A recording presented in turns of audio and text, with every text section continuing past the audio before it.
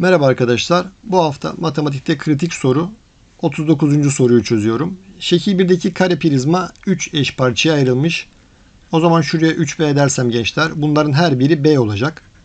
Tabanları değişmediği için buraya A dediysem hemen yan taraflara da A. Şuraya da 3A diyebilirim. Yan tarafta A olacak. Birinci şekildeki birinci şekildeki alanı bulursam A kareden 2 tane var. O zaman burası 2A kare yaptı. Artı 3AB'den 4 tane var. Burası da 12AB yapacak. Birinci şekil için. İkinci şekil için bulursam 2 çarpı 3AB artı AB'den 2 tane var.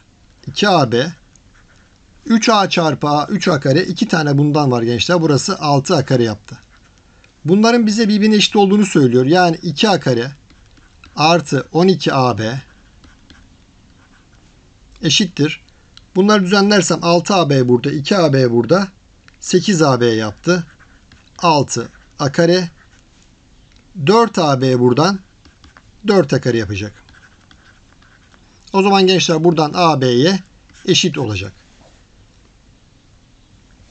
Şimdi tekrar arkadaşlar bunların alanını buluyorum. 2 tane burada AB var. Tekrar 2 tane AB var. 2 parantezine aldım bu arada. A çarpı A'dan da burası A kare yaptı. Toplarsam burası 6 A kare yapacak. Şimdi yukarıda da gençler ben B gördüğüm yere A yazarsam, B gördüğüm yere A yazarsam burası 12 A kare. 2 A kare de burada.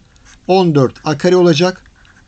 Arkadaşlarım buradan da 6 bölü 4 cevabımız 3 bölü 7 yapacak.